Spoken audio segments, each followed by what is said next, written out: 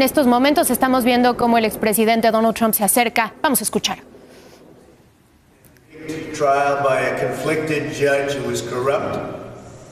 Es un juicio arreglado, una desgracia.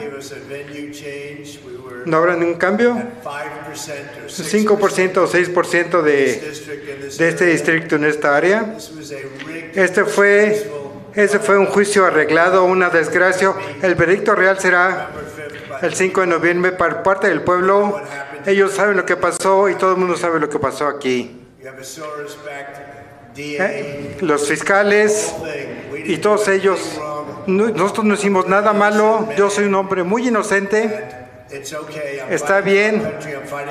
Lucho por nuestro país, lucho por nuestra constitución. Esto ha sido totalmente arreglado.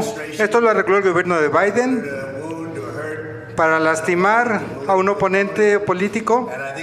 Creo que es simplemente una desgracia y seguiremos luchando hasta el fin para ganar porque nuestro país está yendo al infierno.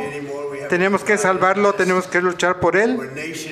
Somos una nación que va para abajo.